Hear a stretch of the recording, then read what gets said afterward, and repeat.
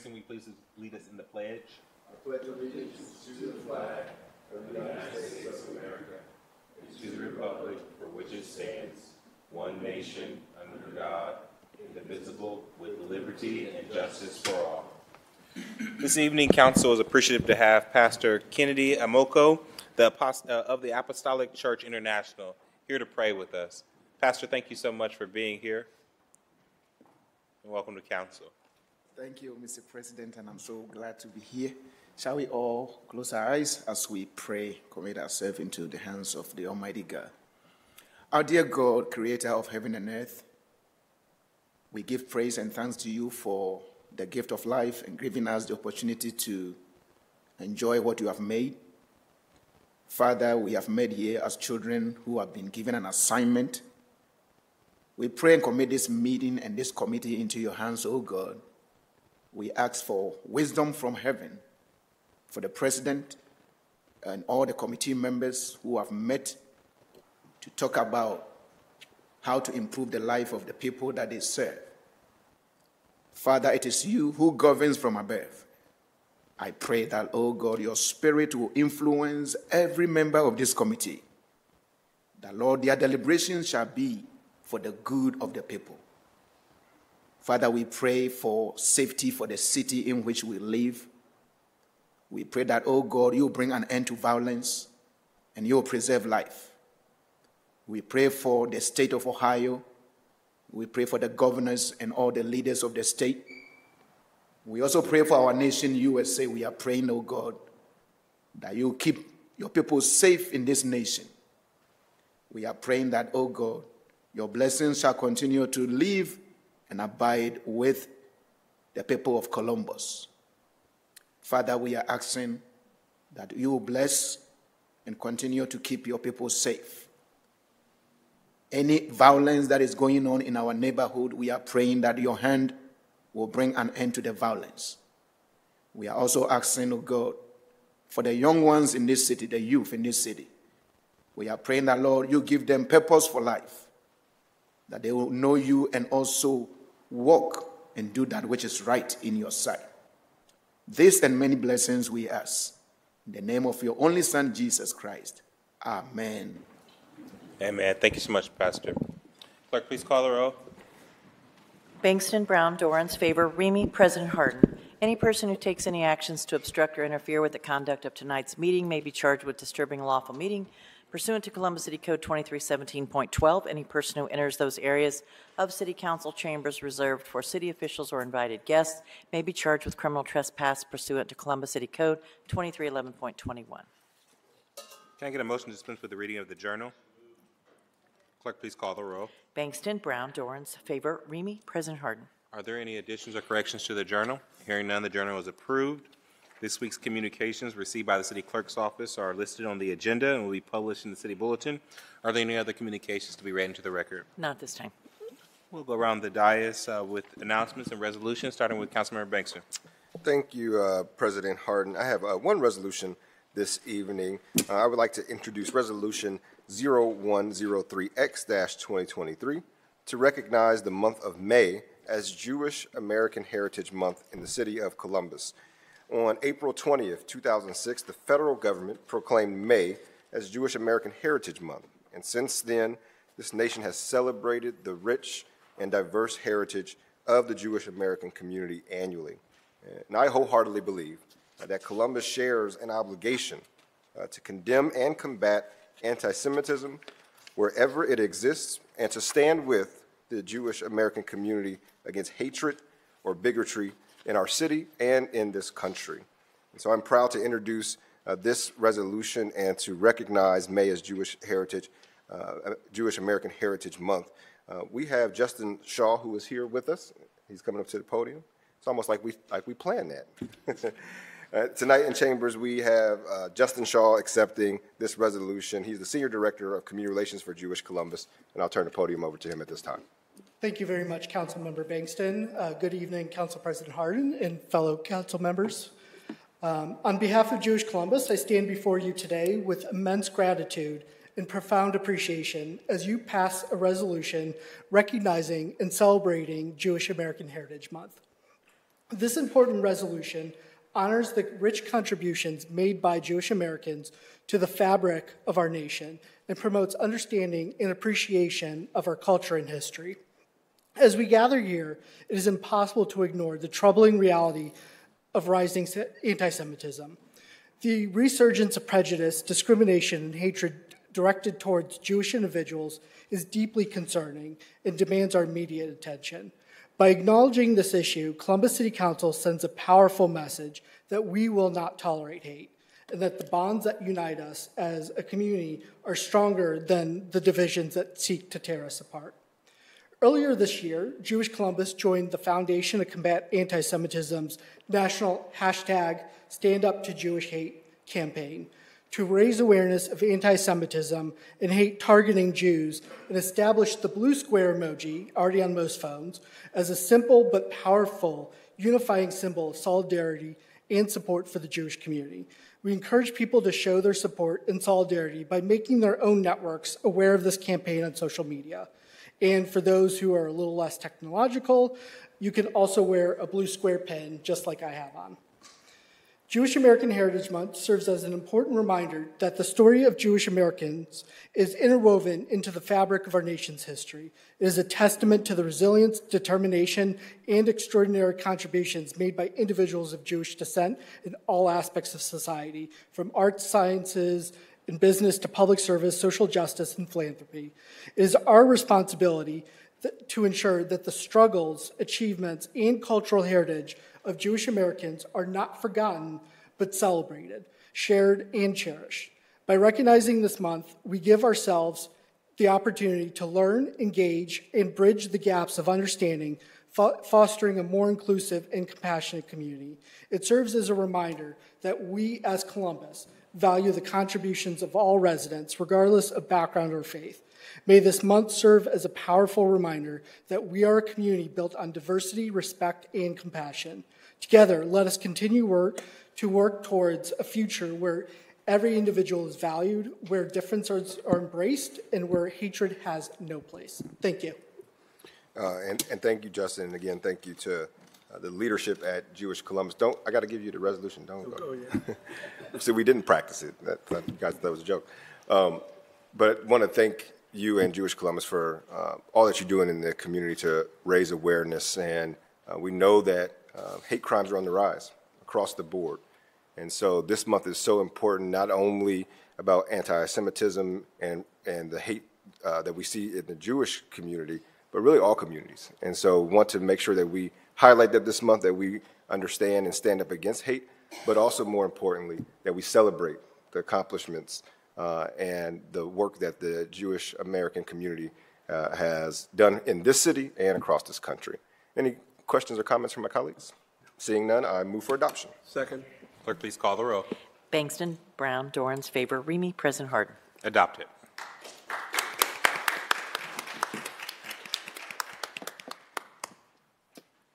And that is all I have for announcements this evening. Thank you, Councilmember. Councilmember Brown. Nothing this evening, sir. President Pro Tem.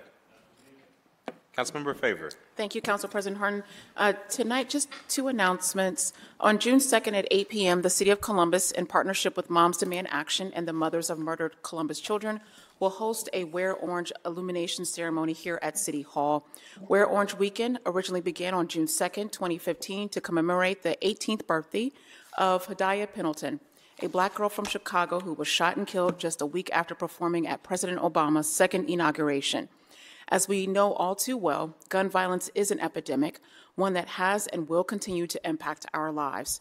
In Columbus alone, more than 1,300 people have been killed by gun violence, and in the past five years, 57 minors were killed in Columbus shootings. While we may not have a cooperative partner in establishing common sense gun safety laws at the State House, we at City Council are dedicated toward finding solutions that reduce gun violence within our communities.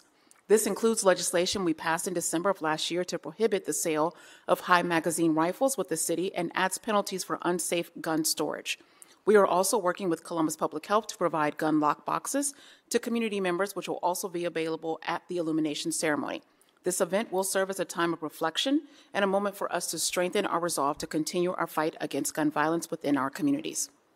And one of my proudest accomplishments since joining council in 2019 is the creation of the Columbus Youth Council, a program for Columbus High School juniors and seniors to learn about the functions of local government while gaining invaluable leadership and teamwork skills. Selected students participate in several sessions dealing with topics such as the structure of city government, city housing and development, public safety, and much more. Sessions begin at 8 8 a.m. and end at 2 p.m. Meals and program supplies are provided.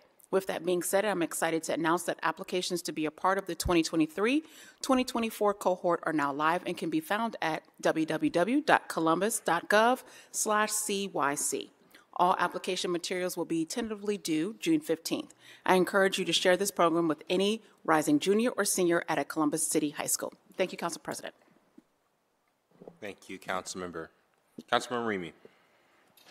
Thank you very much, Council President Hardin. I have one resolution this evening. I would like to invite Dr. Robert Lowe and our other Division of Fire guests to the podium as I introduce Resolution 105X 2023 to recognize and designate May 21st through the 27th, 2023 as Emergency Medical Services Week in Columbus, Ohio. In April 6, 1969, Columbus began administering administering emergency medical services to residents through the development of the Columbus Heartmobile Program, a partnership between the Columbus Division of Fire and The Ohio State University. Emergency medical service providers perform a vital public service with over 1,500 members of the Columbus Division of Fire providing life saving care to those in need 24 hours a day, seven days a week, 365 days a year. The members of the Columbus Division of Fire are highly trained paramedics that have the most current training and state-of-the-art equipment so that they may they can manage any medical emergency medical situation they may encounter. Columbus City Council recognizes the value accomplishments, sacrifices, and selfless contributions of emergency medical service provider services providers by designating Emergency Medical Services Week. Being in the company of one of the first EMS professionals in our country, I do want to acknowledge and thank Councilmember Mitch Brown for his service and leadership in this space. Um, it's truly remarkable that uh, we, we still get to share in decision making in this in this body. So, thank you very much. I would like to turn it over to Dr. Lowe for bringing and thank him for bringing this important discussion to council this evening. Dr. Lowe, the floor is yours. Thank you. Councilmember Remy, President Hardin, and members of council, uh, on behalf of Fire Chief Happ, his executive staff, and all the members of the Columbus Division of Fire, we thank you for taking the time to support and acknowledge our work during EMS Week. One of the many reasons we recognize EMS Week is to pause for a moment of appreciation for thanks to and for our EMS providers and all they do in our community. With the great level of professionalism, readiness, and willingness to respond, we naturally sometimes take for granted their presence and vigilance in our daily lives. And so it is important that we pause during this week just to recognize uh, all that they do for our city. The men and women of the Columbus Division of Fire have taken an oath of service and protection for the residents of Columbus. In 2022, Columbus Fire responded to some 175,000 potential EMS, rescue, or life threatening events. When our teams respond, they often have no idea what they're headed into, but they do know most likely it's someone's worst day. And they must put aside their own emotion and own uh, temporary life moments to uh, respond to you and your loved ones. However, it's truly a team effort. Our firefighters, our paramedics, our EMTs, our call takers, our dispatchers, and even our police officers all striving for the best possible outcome.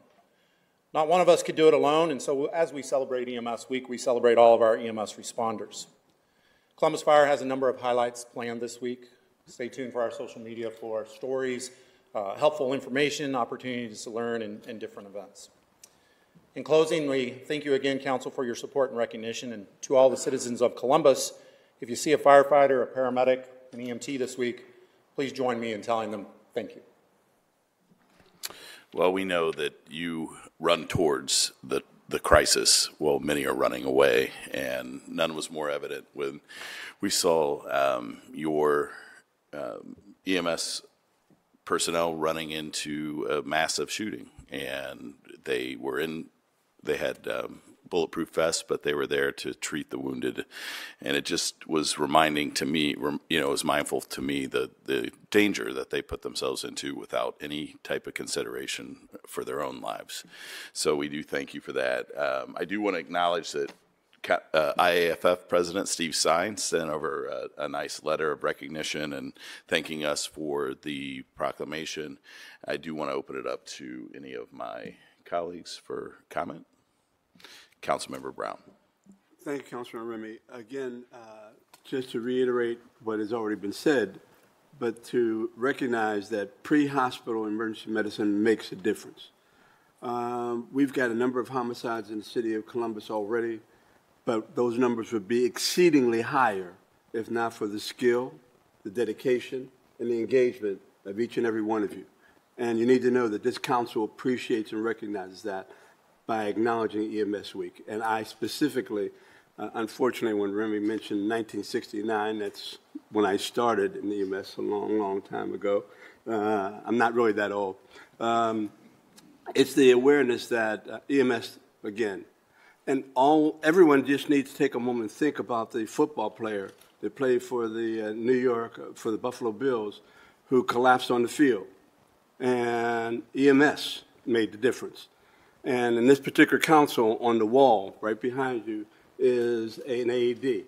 And the council staff volunteered to participate in the training so they would know how to save a life. That makes all the difference in the world. And again, our significant appreciation for all the things you do. Dr. Lowe, you in particular, thank you, sir. Thank you, sir. Yeah. Thank you, Council President. Thank you, Councilmember Brown. Anyone else? Seeing none, I move for adoption. Bankston, Brown, Dorans, favor, Remy, President Hardin.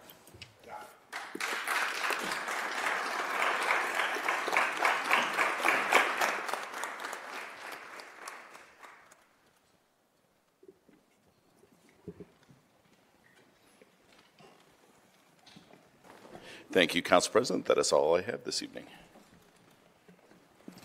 Thank you, council member. Are there any comments from city attorney's office, uh, clerks, auditor? Are there any requests by members of council for the removal of an ordinance or resolution from the consent portion of the agenda? Seeing, hearing none, may we now have a motion to waive reading of titles of third day legislation? Is there a second? Clerk, please call the row.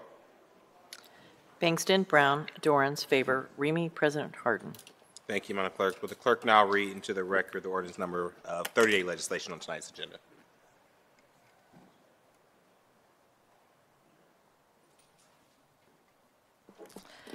Economic Development Committee ordinances 1481, 1483, 1485-2023. Technology Committee ordinance 1356 and 1359-2023. Public Service and Transportation Committee ordinances 1291, 1361, 1403, 1405-2023. Neighborhoods and Immigrant, Refugee, and Migrant Affairs Committee Ordinance 1562-2023. Recreation and Parks Committee, ordinances 1121, 1407, 1522-2023. Public Utilities Committee, ordinances 1203, 1212, 1320, 1322, 1342, 1344, 1348, 1349, 1351, 1355, 1365, and 1430-2023. Workforce Development Committee, ordinance 1395-2023. Criminal Justice and Judiciary Committee, ordinances 1007, 1009, 1456-2023. Public Safety Committee, ordinance 1333-2023. And Finance Committee, ordinance 1393-2023. Thank you, Madam Clerk. We don't have any speakers on the first reading portion of the agenda. The following ordinance appear on our agenda as consent actions. Will the clerk now read those ordinance number into the record? Resolutions of Expression 102X, 104X, 106X-2023. Economic Development Committee Ordinance 1386-2023. Small and Minority Business Committee Ordinances 1338, 1362, 1476-2023. Technology Committee Ordinances 1215, 1301, 1542, 1546-2023. Public Service and Transportation Committee Ordinances 1170, 1224, 1276, 1280, 1379-2023. Recreation and Parks Committee, ordinance 1118-2023. Public Utilities Committee, ordinances 924, 1171, 1175, 1176, 1190, 1272, 1339, and 1474-2023. Building and Zoning Policy Committee, ordinance 1370-2023. Housing Committee, ordinances 1236, 1249, 1274-2023. Criminal Justice and Judi- Judiciary Committee, ordinance 468 and 545-2023. Health and Human Services Committee, ordinances 1225, 1229, and 1429-2023. Public Safety Committee, ordinance 1001 and 1189-2023. Environment Committee, ordinances 1450 and 1471-2023. Administration Committee, ordinances 1313 and 1565-2023. Finance Committee, Resolution 77X-2023. Ordinances 1248, 1269, 1363, 1381, 1396, 1449, 1511-2023, and appointments from the Mayor's Office numbered A0136 and A0137-2023. Thank you, Madam Clerk. We have two speakers on the uh, consent portion of the agenda. First speaker to come before council is Mr. Nate Wilkins, speaking um, in support of Housing Ordinance 1274.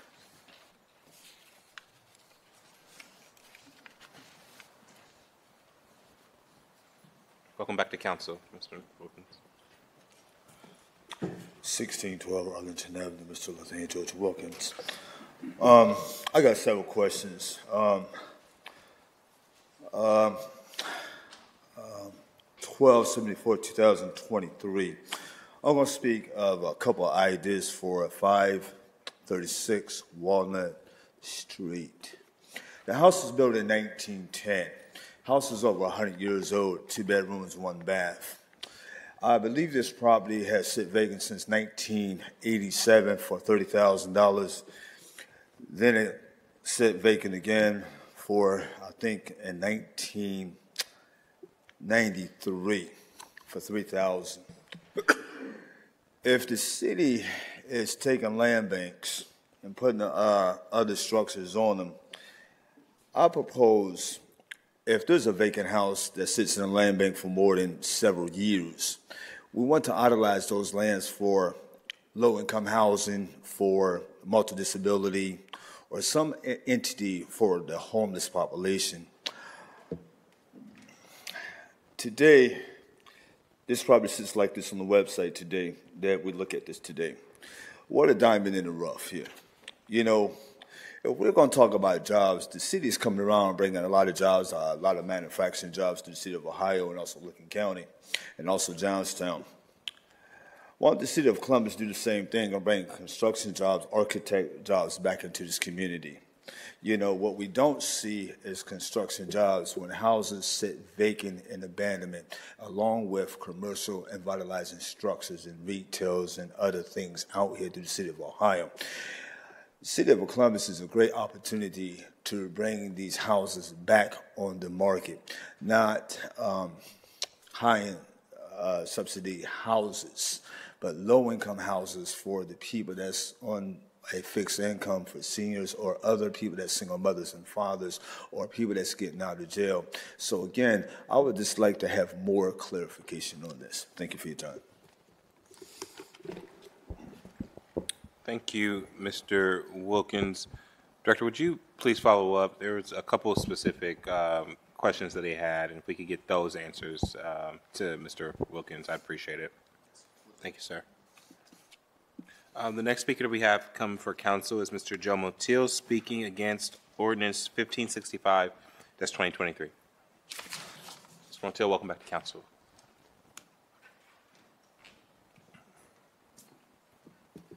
Good evening. Uh, Joe Motil, 167 West Cook Road, Columbus, Ohio. President Hardin, Pro Tem Dorans, members of City Council. This MOU is one more display of the inequality and disproportionate spending of taxpayer dollars for public safety by the mayor. And now he wants to pay officers double time instead of time and a half.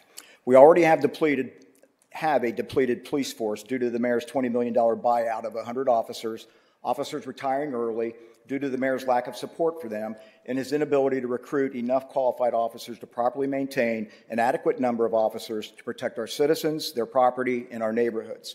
So, because the mayor, who takes no responsibility for crime and homicides that have gotten out of control across the city, and more recently in the Short North, Ginther's Short North developer and business associates who dictate his every move ordered him to provide an unwarranted and excessive law enforcement presence in the Short North this past weekend.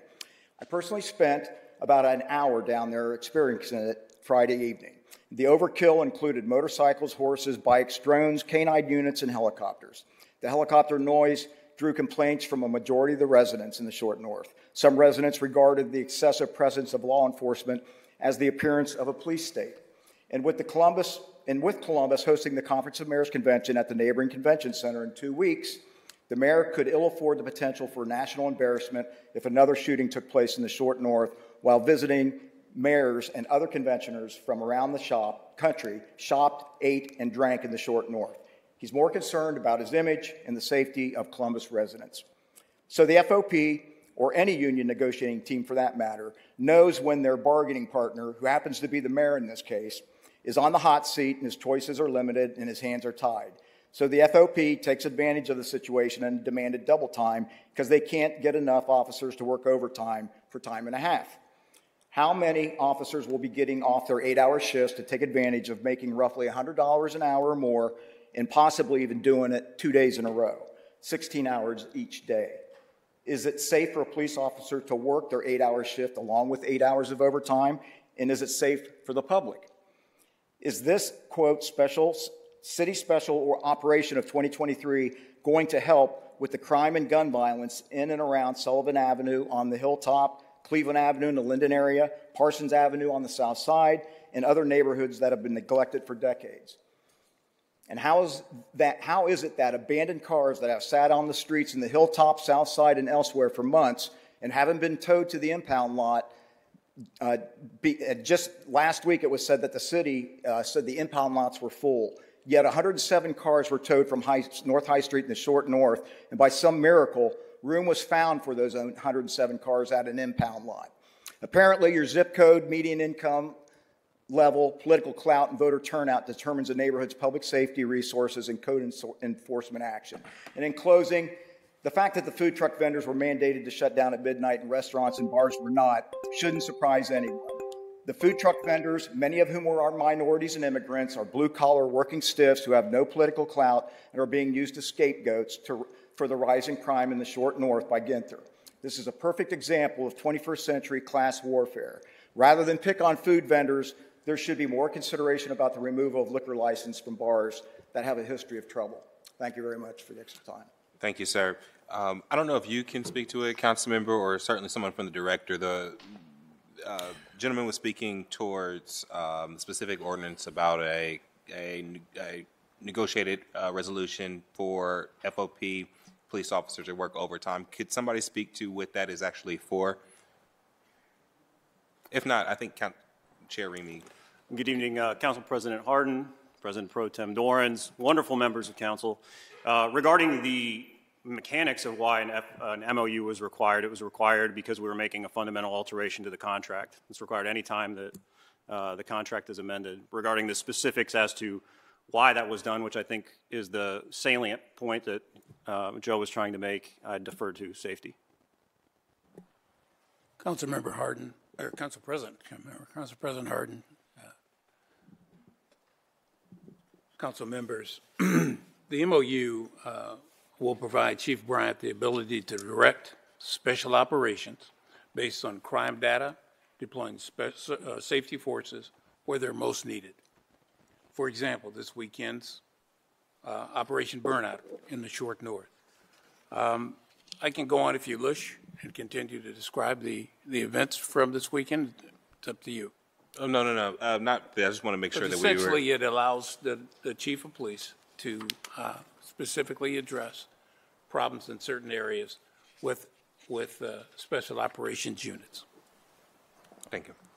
And just to further the point, it, this was a, a, collaborative effort that we did last year with Rex and Parks. So these these officers will be deployed in our parks, special events where we have the arts festival, et cetera which, um, when there is a need that arises, they will have the opportunity to get resources in those areas. And so. That's correct. Very uh, happy to support the legislation. Yeah, that's correct. It's not specific to any particular area. It's uh, citywide. Thank you. Are there any other questions or comments on the consent portion of the agenda? Hearing none, uh, may I have a motion to approve these items designated as consent? Clerk, please call the roll by voice. Mr. Bankston? Mr. Brown? Yes. Mr. Dorans? Yes. Ms. Favor?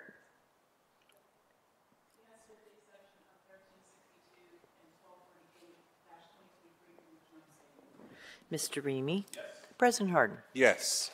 Ordinance is passed with the noted uh, exceptions. We'll now proceed with the second reading of 30-day postponed and emergency legislation. The first committee to come before council is the Technology Ch- Committee, chaired by Councilmember Bankston. Councilmember, the floor is yours. Thank you, President Hardin. Tonight in the Technology Committee, uh, for second reading, I have ordinance 1545-2023 to authorize the Director of Department of Technology to enter into a nonprofit service agreement with the Columbus College of Art and Design to provide summer programming services, to authorize the expenditure of $51,700 from the Information Services Operating Fund, and to declare an emergency.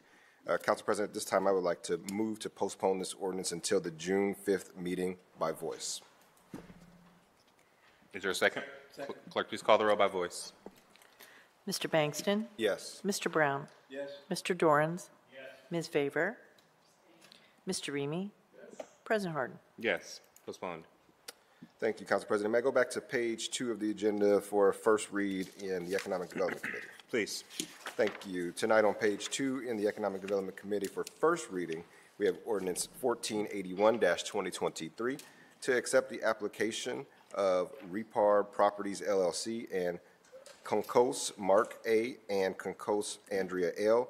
for the annexation of certain territories containing 7.80 plus or minus acres in Norwich Township. Uh, Council President, at this time, I move to refer this ordinance back to committee. Second. Clerk, please call the roll. Bankston, Brown, Dorans, Favor, Remy, President Hardin? Pat, uh, uh, referred back to committee. Uh, Thank thank you. That is all I have in our committee this evening. Thank you, Mr. Chairman. Next committee to come before council is the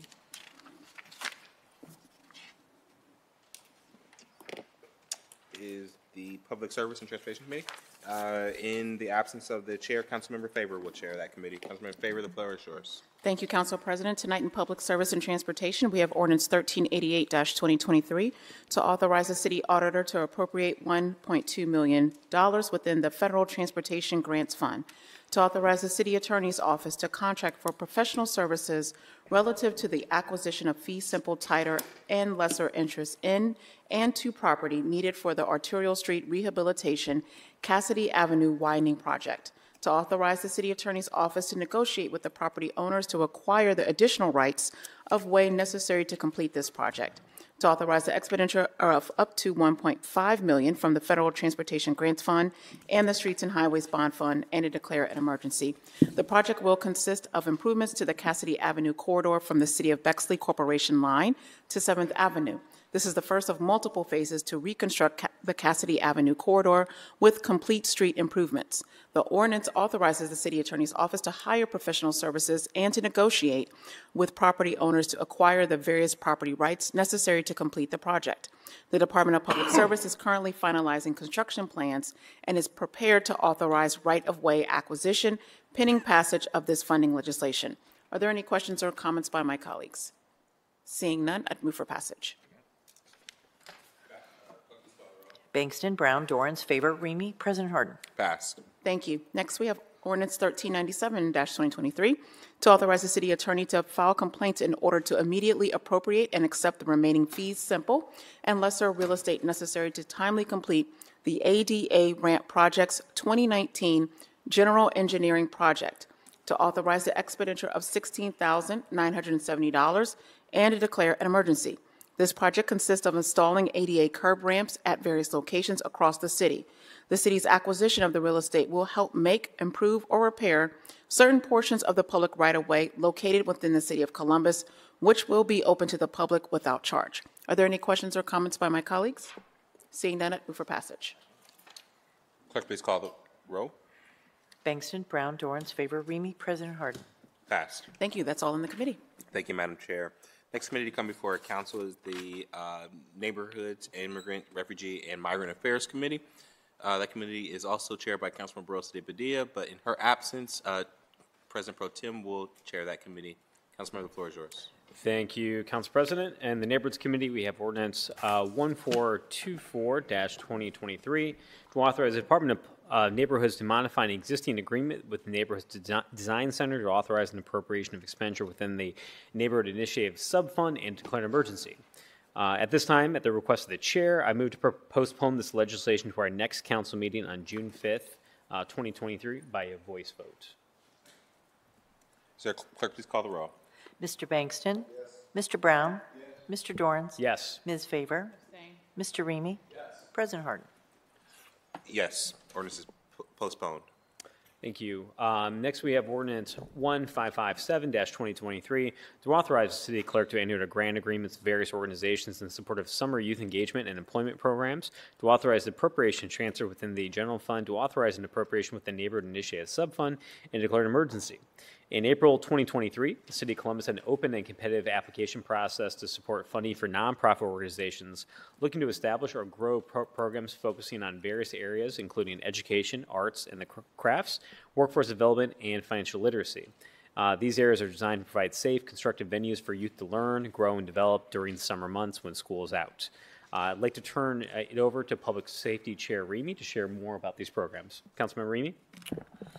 Thank you very much. Um, let me see here. Where are we at? It's my fault. Just doing something else. So that was loud. that was really loud. Super excited about um, this piece of legislation.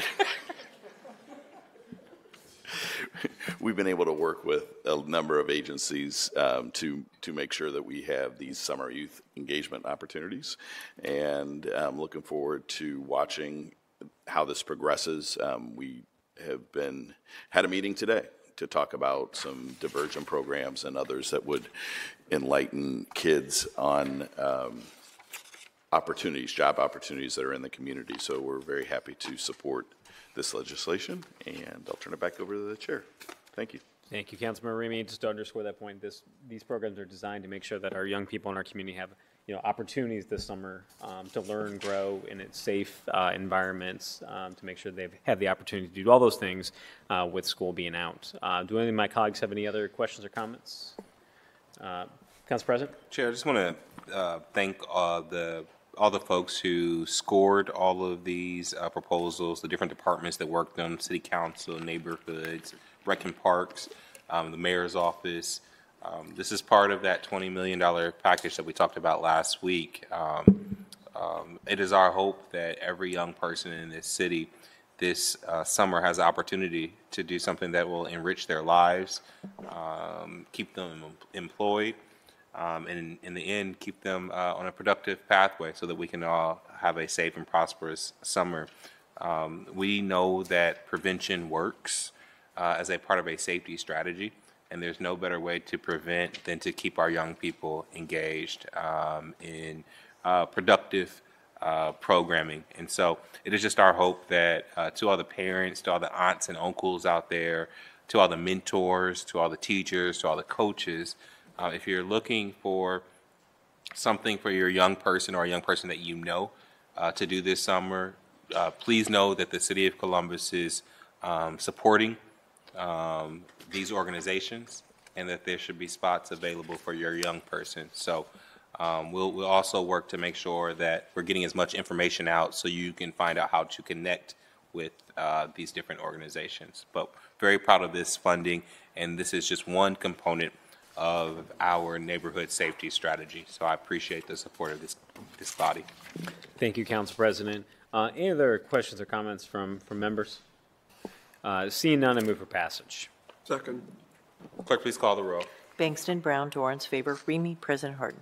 Passed. Thank Thank you. Next, we have ordinance 1582-2023 to authorize the transfer and expenditure of up to $1,262,650 uh, within the Department of Neighborhoods, to authorize Director of Department of Neighborhoods to enter a sub-recipient grant agreements with Big Brothers Big Sisters of Central Ohio, Inc., Child Development Council of Franklin County, Columbus Fashion Initiative doing business as Columbus Fashion Alliance, Legacy Youth uh, Academy and African American well, Male Wellness Walk doing business as National African American Male Wellness Agency in the amount of $1,262,650 to add needed capacity to address COVID 19 specific services for boys and young men of color and black girls to authorize payment of expenses starting May 16, 2023, and declared emergency.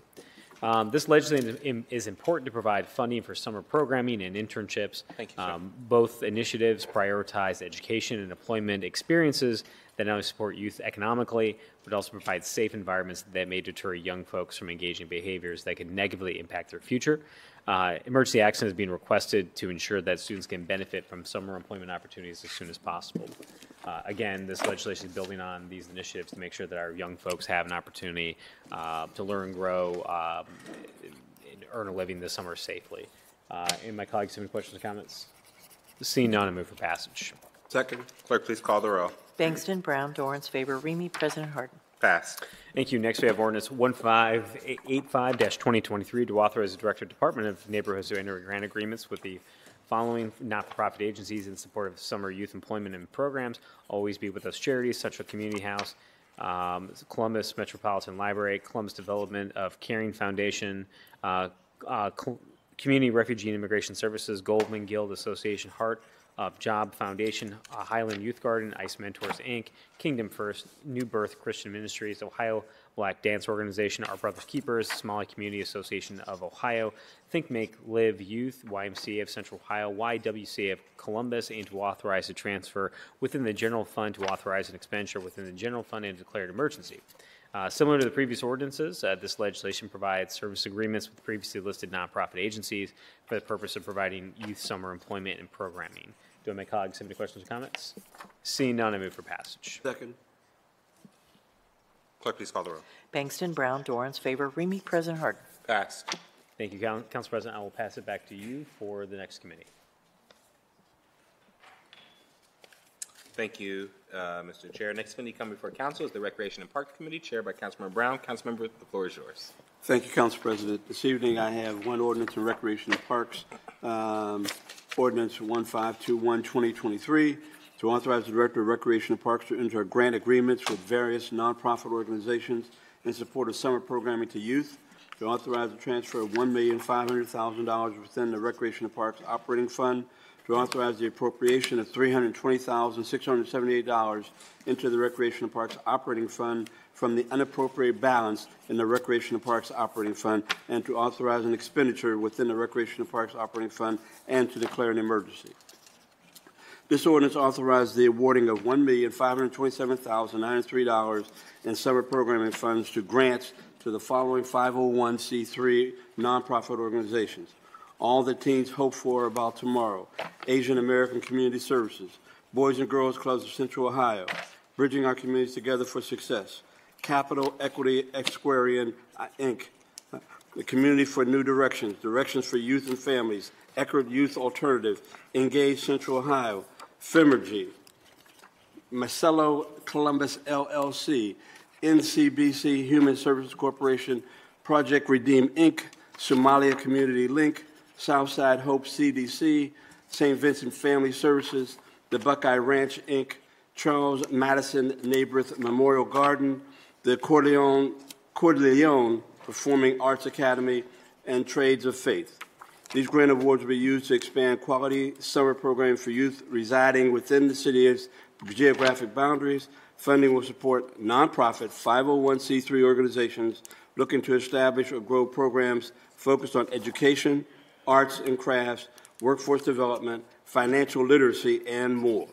The term of these grant agreements will begin June 1st, 2023, and will end on December 31st, 2023. I have with me tonight Don Turnage, the Assistant Director from the Recreation and Parks Department, who oversees youth development sections, to tell us more about the review process. Assistant Director? Thank you, thank you, thank you, President Hardin, all of council. Um, we are super excited and, and elated to be part of this um, emergency funding for us to go ahead and um, grant the expansion of uh, any summer programming that our youth will be participating in throughout our geographical area. And it will go beyond just um, simply working. Workforce development as well as literacy and financial development will also be there. Um, the application process that started in April on a, in April 4th, I do believe, it, until April 25th, was an extensive process that did include a lot of great organizations and um, coming through with the nonprofit 501c3 organizations and the services they provide. We will be extending our our services that we have been working with them continuously through our youth development division, uh, as well as employment through our, our APS Job Readiness Program and some of those youth and working together in collaboration.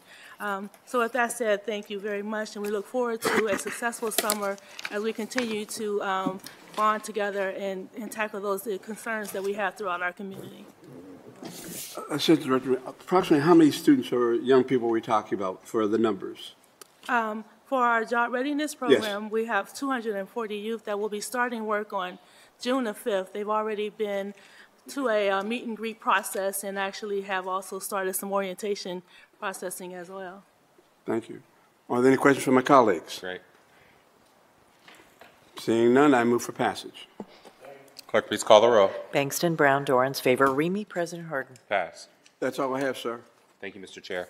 Next committee to come before council is the Public Utilities Committee, chaired by President Pro Tem. President Pro Tem, the floor is yours.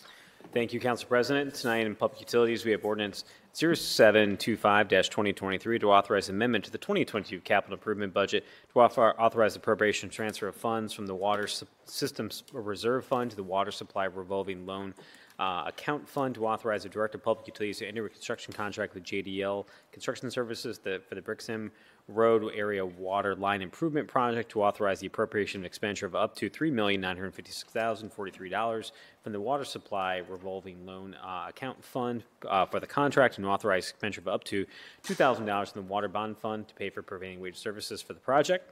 Uh, the work for this project consists of the replacement of almost 9,000 linear feet of water mains, which have exceeded their useful life, and construction of new lines to eliminate, eliminate poor fire flow capabilities and poor water quality in the hilltop planning area. Do my colleagues have any questions or comments? Seeing none, I move for passage. Second. Clerk, please call the row. Bankston, Brown, Dorans, favor, Remy, President Hardin.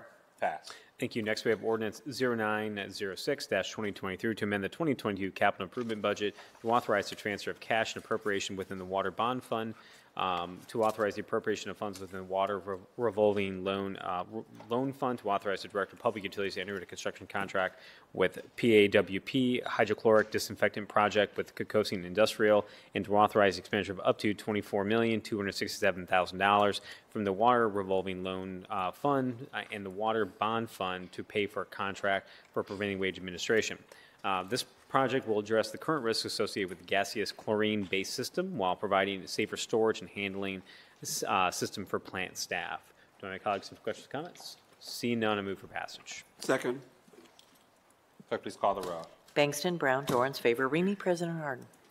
Passed. Thank you. Next, we have ordinance 1183-2023 to authorize amendment to the 2022 capital improvement budget to authorize the appropriation and transfer of funds from the sanitary sewer reserve fund, sanitary revolving loan uh, fund, to the, to authorize the appropriation of funds within the sanitary revolving loan fund, to authorize the director of public utilities to enter a construction contract with Danbert, Inc. for the Blueprint Hilltop Palmetto Westgate Integrated Solutions Project to authorize expenditure of up to $7,113,031.96 from the sanitary revolving loan fund to the the sanitary general obligation fund to pay for the project, and to authorize a ma- maximum amount of loan to fund the construction of this project be increased.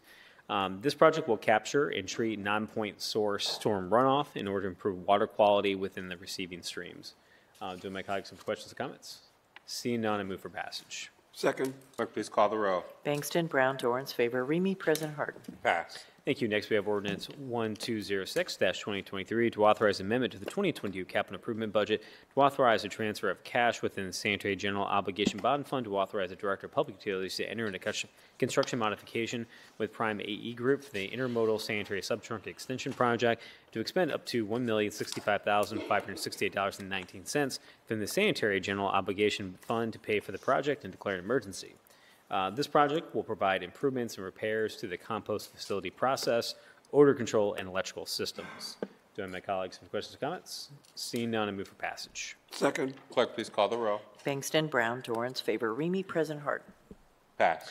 Thank you. Next, we have ordinance 1270-2023 to authorize amendment to the 2022 capital improvement budget, to authorize the transfer of cash between projects within the Water Pay-Go Fund, to authorize the appropriation of funds within the Water Revolving Loan Fund, within the Water Pay-Go Fund, to authorize a waiver of competitive bidding requirements for construction, to authorize the Director of Public Utilities to enter into a professional services and construction services contract with Synagro Central for the water treatment re- residuals turnkey dewa- dewatering services project, and to authorize the expenditure of up to 40, 47 million from the um, Water Revolving Loan Fund and the Water Pay-Go Fund for the contract. As part of the drinking water treatment process, several water treatment residual products are generated that require hauling, management, and beneficial reuse or disposal. This project will design and construct a water treatment residual dewatering facility in the Division of Waters McKinley Avenue Quarry uh, property that will move away from this disposal-based operation to one that's entirely sustainable based upon beneficial use for our city.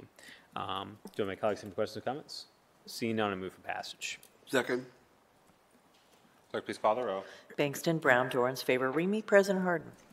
Pass.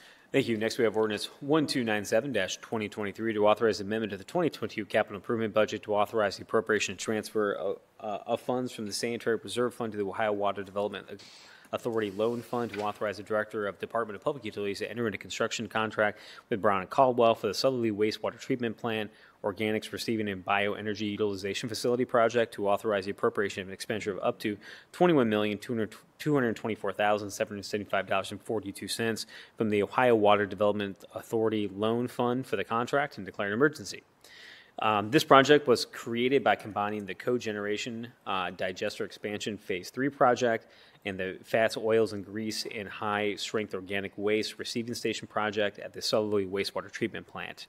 Um, these projects were combined, accelerated in order to take advantage of the, of the Inflation Reduction Act re- rebate program. Um, under the current guidelines provided by the IRS, this project is eligible for up to 50% rebate on the total construction costs and will save the city of Columbus up to 70 million on the construction of the facilities that were already in our capital budget. In addition, the IRA rebates this project will be eligible for additional funding from grants due to greenhouse gas re- reductions, elect- electrical usage reduction, and diversion from landfills. From an environmental perspective, this project will reduce Southerly wastewater treatment plant's greenhouse gas footprint by capturing methane from the digesters and divert food and other organic waste from the Swaco landfill to the Southerly wastewater treatment plant for biogas and power production. Um, do any of my colleagues have questions or comments? Seeing none, I move for passage. Second. Clerk, please call the row. Bankston, Brown, Dorans, favor, Remy, President Hardin. Pass. Thank you, Council President. All I have at this time. Thank you, Mr. Chair. Next committee to come before council.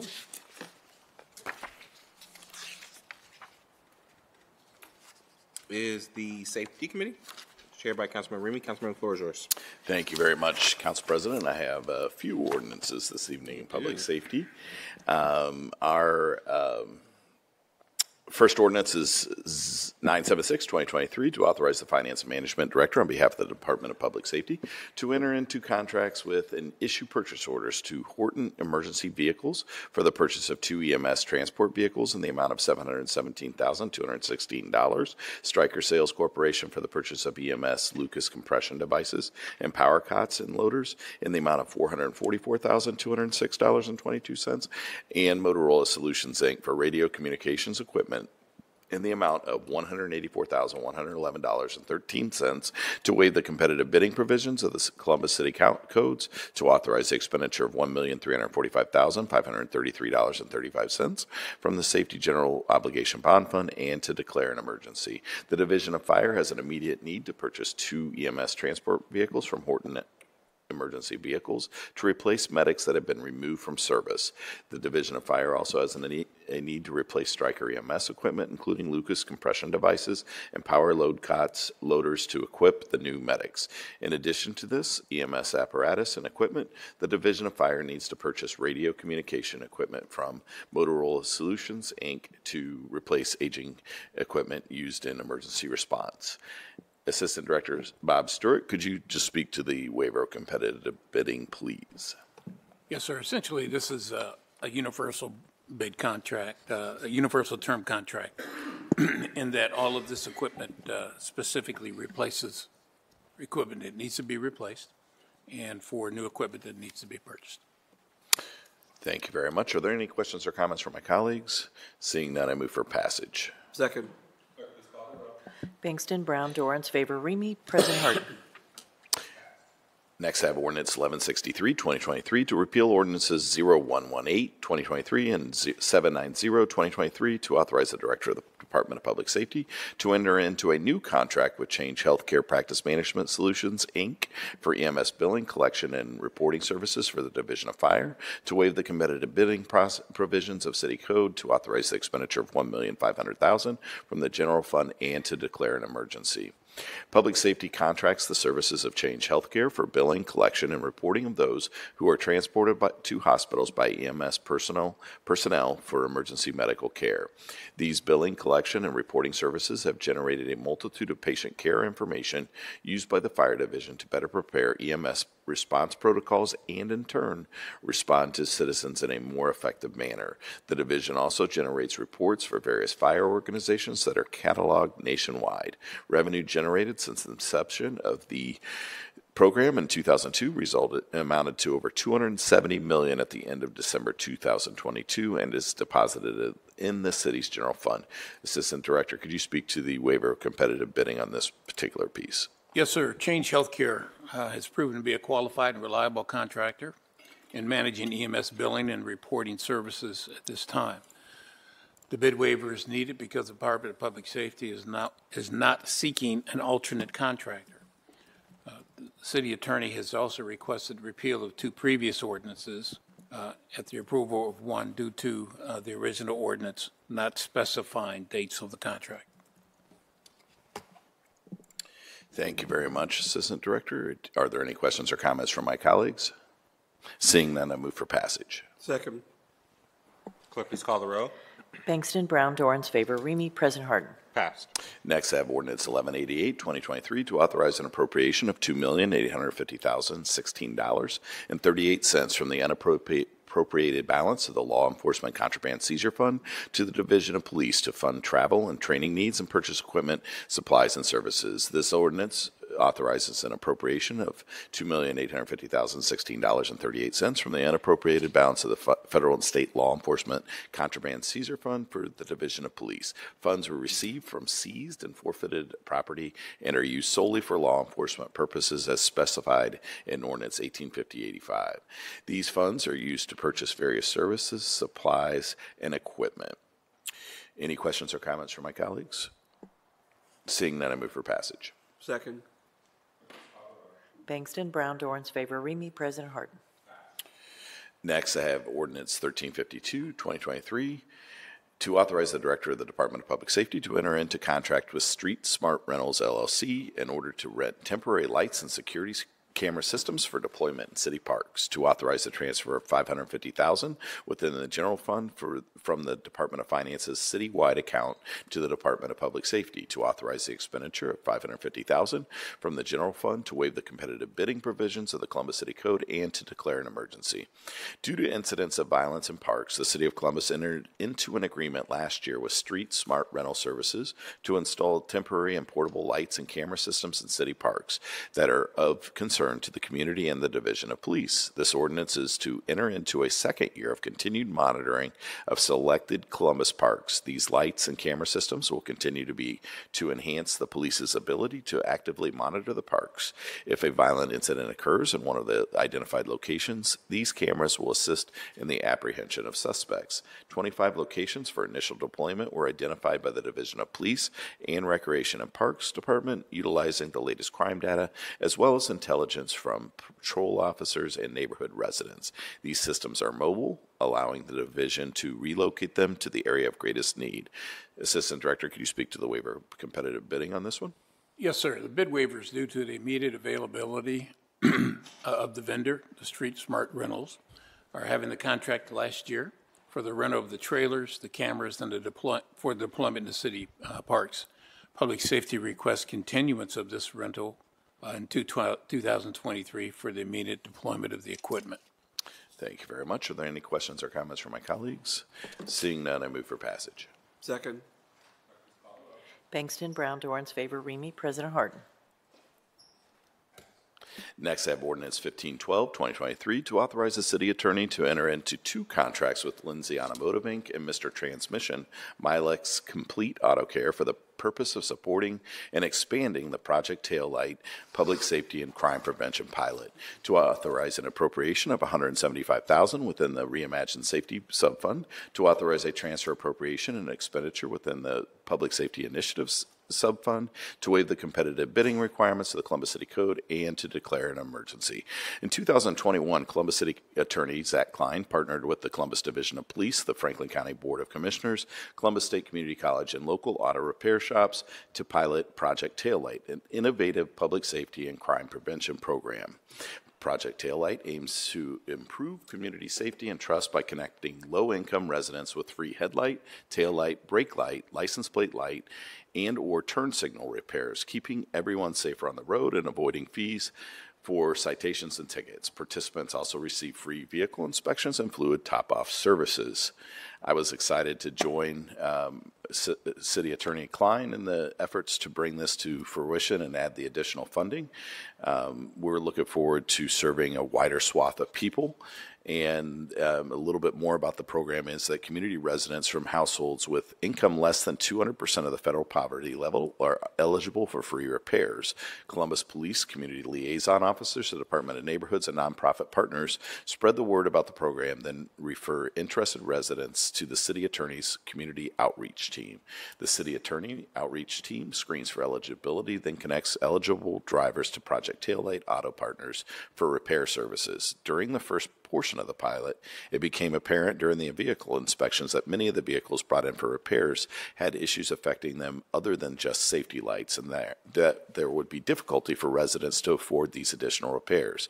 Columbus City Council is partnering with the City Attorney's Office to make funds available to assist with these repairs to keep these auto- automobiles operational and allow residents to maintain their transportation. Assistant City Attorney Laura Baker Morris, could you speak to the bid waiver in this ordinance and share any other details about this program? Thank you, Please. Councilmember Remy. I uh, really appreciate this on behalf of City Attorney Klein's office, the opportunity to partner with council to continue the Project Tail Light program. Um, As you indicated, this is a pilot program, and it is the hope of the City Attorney's office that if council continues to support it, that we'll be expanding the program in 2024, and we'll open it up for a bid on that approved Project Tail Light repair uh, for repair vendors. At this point in time, we would like to request a bid waiver in order to allow us to continue to work with vetted project repair partners as we continue to finalize the project uh, criteria um, for expanding the pilot program to include the expanded services that were already mentioned. Thank you very much for your consideration. Thank you, Assistant City Attorney. Are there any questions or comments from my colleagues? Seeing none, I move for passage. Second. Bankston, Brown, Dorans, Favor, Remy. President Hardin. And finally, I have ordinance 1553, 2023, to authorize the Director of the Department of Public Safety to enter into contract with Nexstar Broadcasting, DBA WCMH, in support of the Love Our Children, Lock Your Guns Safety Initiative, to authorize an appropriation of $25,000 within the Jobs Growth Subfund, to authorize a transfer of $25,000 within the General Fund, to authorize an appropriation and expenditure of $50,000 within the Public Safety Initiative Subfund, to waive the competitive bidding requirements of the Columbus City Codes and to declare an emergency. Love Our Children, Lock Your Guns is a council initiative that is beginning its community-wide education and marketing campaign on the importance of gun safety and protecting our city's children from harm.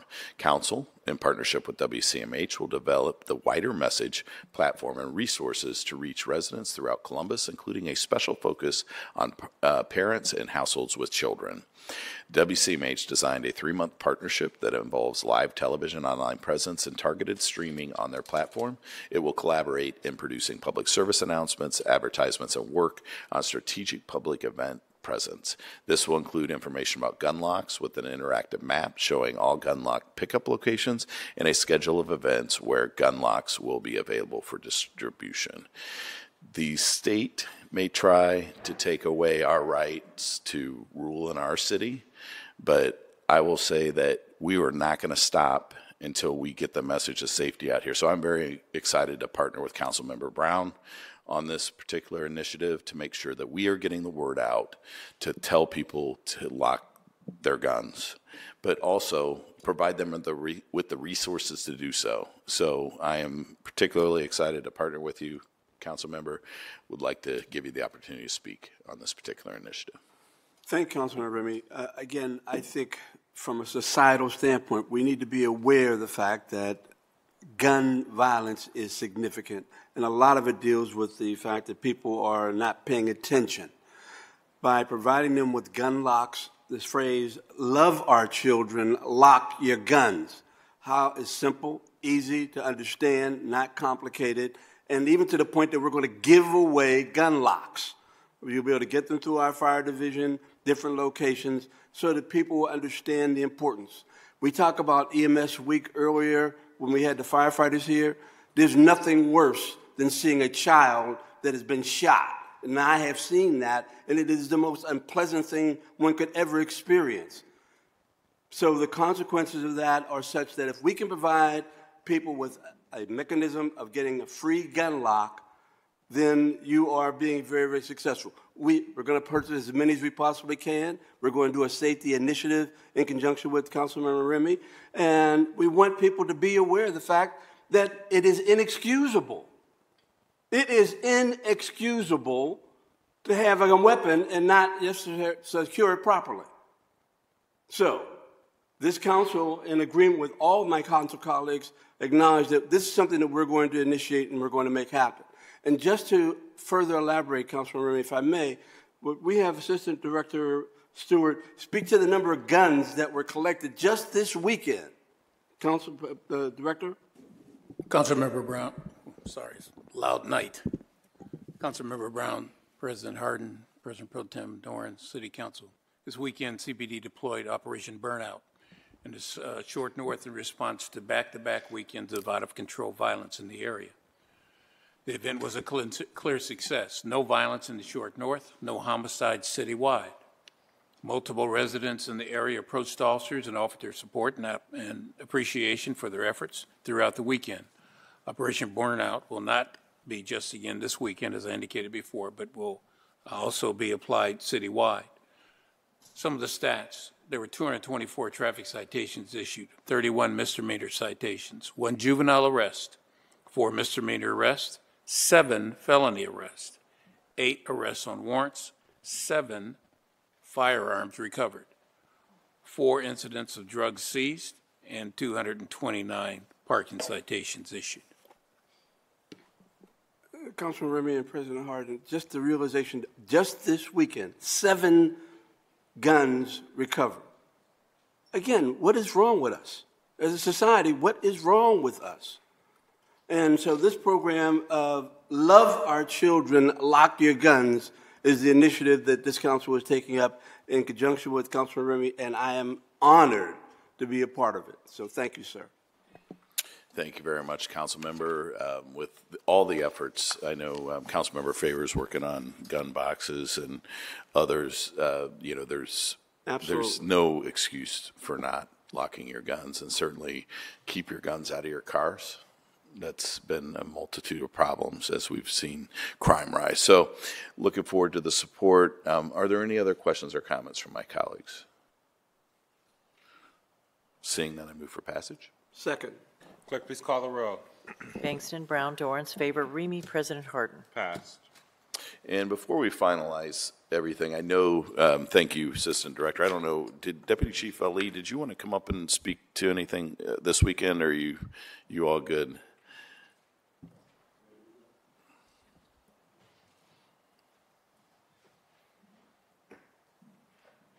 I know we um, had a successful weekend, but I thought maybe you might be able to speak a little bit to President Hardin, council members, thank you so much for your time.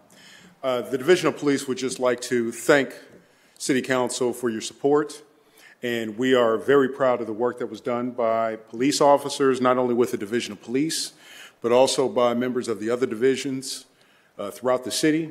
There was a lot of cooperation that took place, and there was a lot of working in conjunction with city employees and the public and business members in order to have the successes that took place. Uh, as was talked about, uh, there were a lot of guns taken off the street. There were arrests made. And this is just the beginning of further actions uh, that will take place as the summer goes on.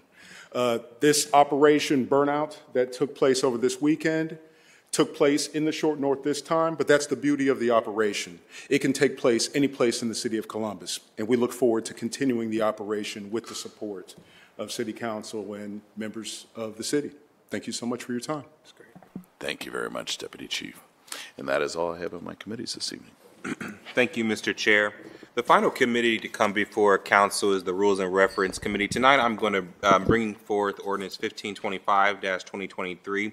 Is to ordain the Executive Order 2023-01 of the mayor, ordering, directing, ordering and directing the Director of the Department of Public Service and Director of the Department of Public Safety within their respective jur- jurisdictions under Columbus City codes to prohibit mobile food vending operations in the short north after 11:59 p.m. on Friday, Saturday, and Sunday evenings, and declare an emer- emergency. Um, as folks know, um, there were a series of violent incidents in the short north, and I appreciate uh, Deputy Chief Ali being here and speaking to the work that was done. What I think is really important that Deputy Chief spoke about is even though we had a specific task and we messaged a specific operation to the short north last weekend and this weekend, that this effort of public safety, increased public safety, of focused enforcement, is something that can and will be taken and used in, in every neighborhood of this community.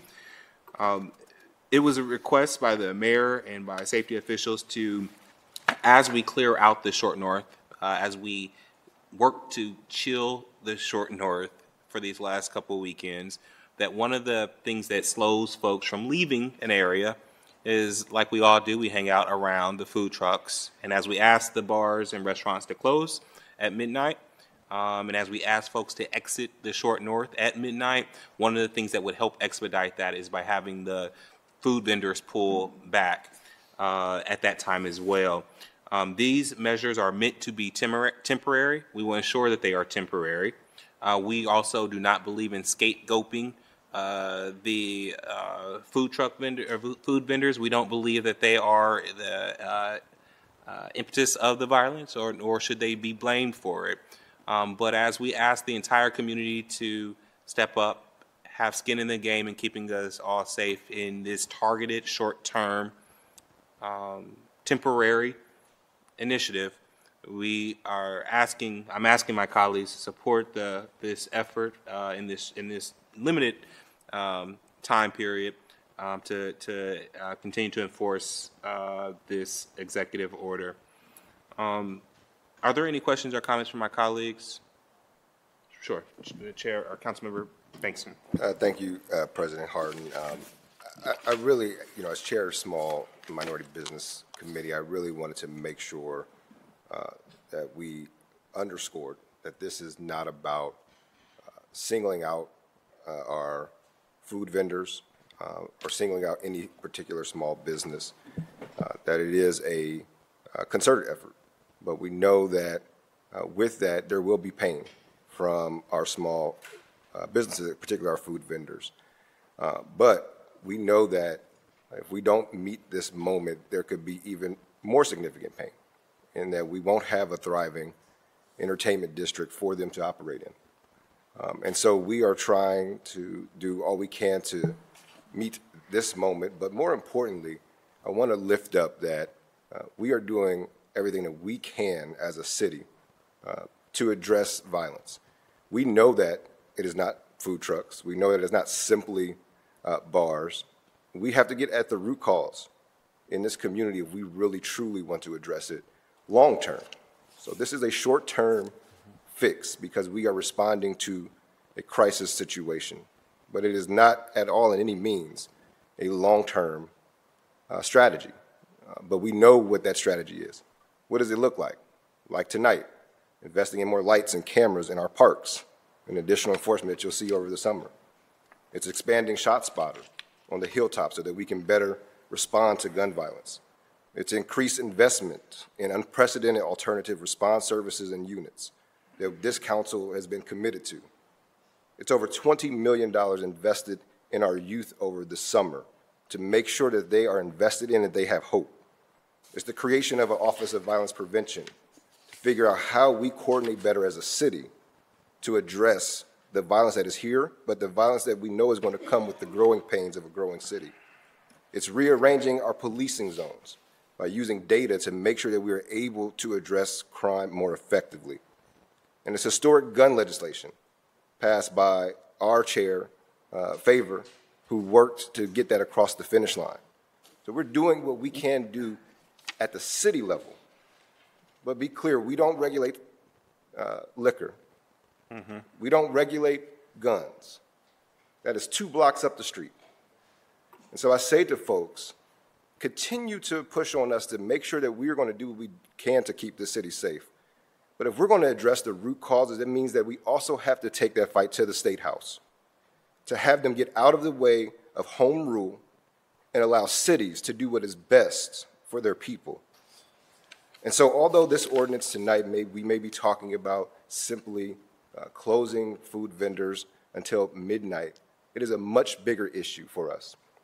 And what I will say to the food vending community and to the small business community in particular, you have a commitment from me to make sure that we work over these next two weeks that this is brought back before this council on June 2nd to revisit it. And what I mean by that is us analyzing to make sure that what we are doing is working uh, and to ensure that we create an environment that is safe, uh, not only for those that are going to the bars, but also safe for our food vendors and their operations.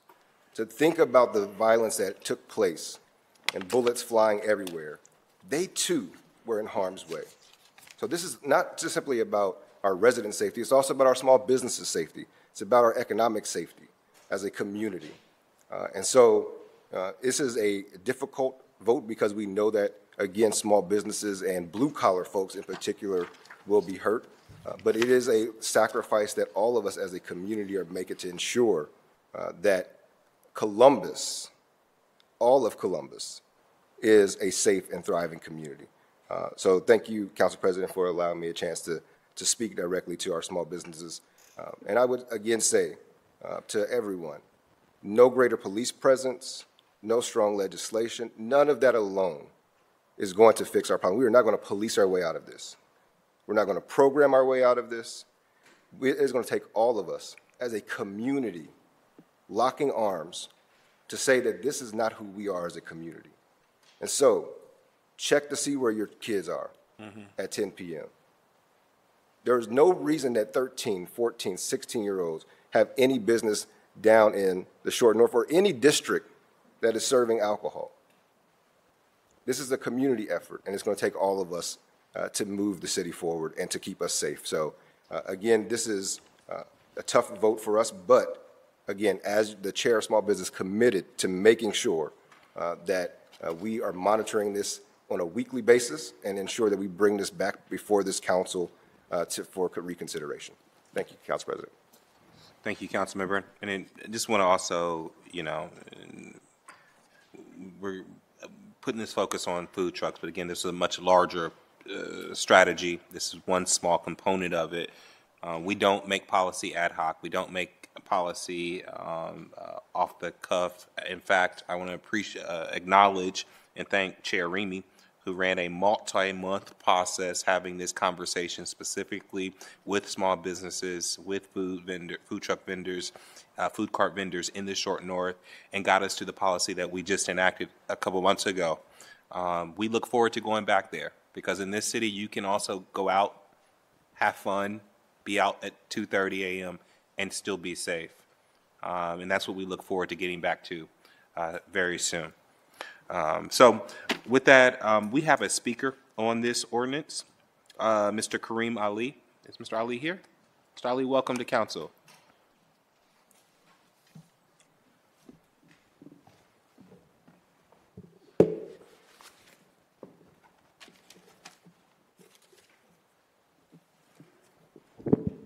President Hardin, Pro Tem Dorans, City Council members. My name is Kareem Ali. I'm a 24-year resident of Columbus, Ohio. 22 years I've been in the short north. Um, I don't represent um, any food service uh, vendors. Um, uh, thanks to the adventures of my three-year-old son, I'm usually in bed by um, 11 o'clock, so I don't frequent any of these places. Um, I rise to share a concern about what I believe is the inequity in this legislation for four reasons. I believe there's a failure uh, of due process. I believe there's a failure of an overly broad restriction. I believe,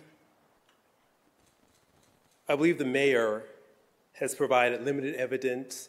I believe this council has provided limited evidence to support this very broad initiative.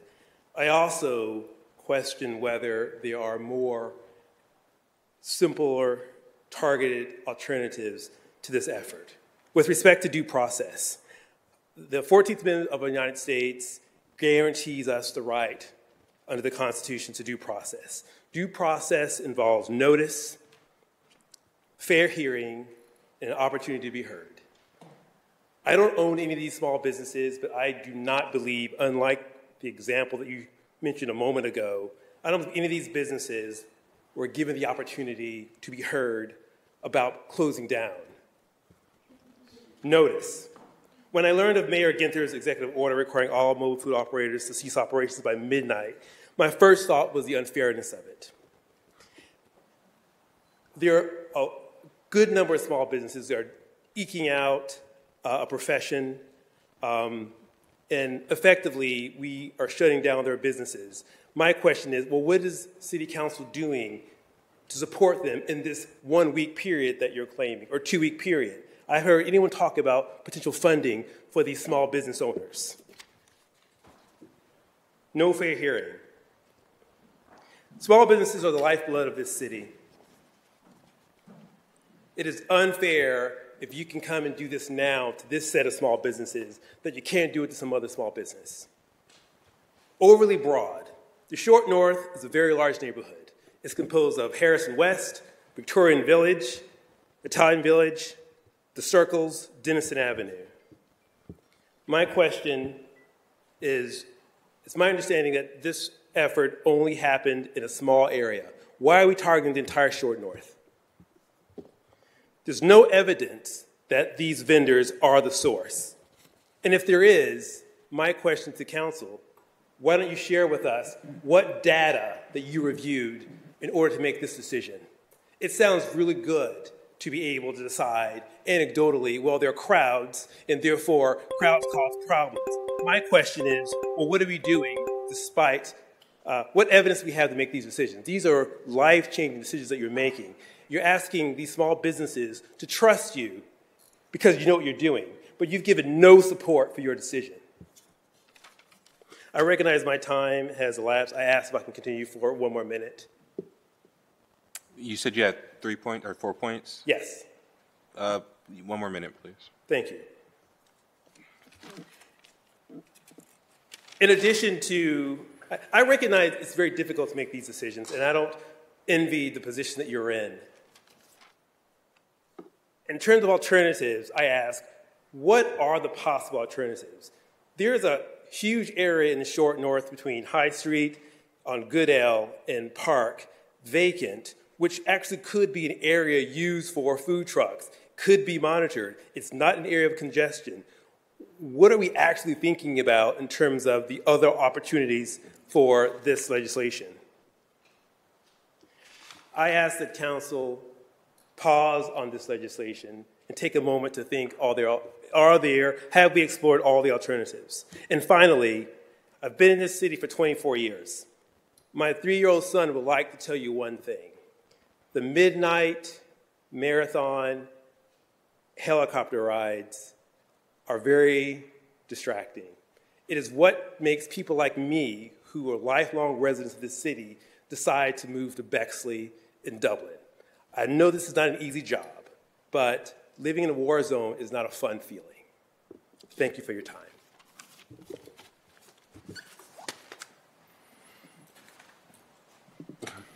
Are there any questions or comments? Again, I, want to stress, this is a temporary effort that uh, is to support and to keep our community safe. Um, And that we look forward to uh, re- revisiting this. City Attorney? And then there was something that was brought up, and I think the City Attorney wanted to. Thank you, Council President Please. Hardin. I did want to address some specific concerns that were raised and make sure that there's clarity on what is and what is not contained within this particular piece of leg- of legislation and the executive order. Um, Specifically, what is before council today and what the mayor executed as an executive order late, earlier this uh, past weekend is a decision to order the department directors of public service and public safety to consider the in, within the congestion zone that's within the short north, which is a very specific and defined area within the short north and not all of the short north, but is a specific area where previously the Department of Public Service had indicated that food carts could be located. All of these food carts are located within the city's right-of-way. There, this is an existing power that the Department of Director of Public Service has to make a determination as to whether or not a food cart in a specific location does or does not constitute a public threat to either health or safety. And given what had happened over the last couple of weeks related to areas in which food carts were located on the city streets, in the city right-of-way, the determination was made that keeping them there after a certain hour would be a danger to public safety. It's really important to note that there was no deprivation of due process here because there was no shutting down of the business. It was specifically that food carts could not be located in that particular location.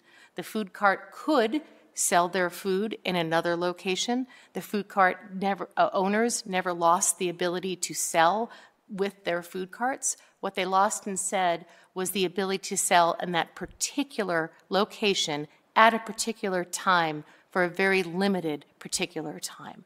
So I just wanted to make it clear that at no point in time did the city revoke anybody's license or prohibit them from engaging in a business in any way, shape, or form. Instead, what we did was we exercised the power that was already within city code to determine that at that point in time, that particular location would not be available. And I just wanted to make that clear. Thank you, Madam City Attorney. If there are no other questions or comments, uh, I move for passage. Clerk, please call the row. Bankston, Brown, Dorans, Favor, Remy, President Hardin. Um, Resolved. Seeing no further business coming for council, is there a motion to adjourn? Clerk, please call the row. Bankston, Brown, Dorans, Favor, Remy, President Hardin. Meeting is adjourned.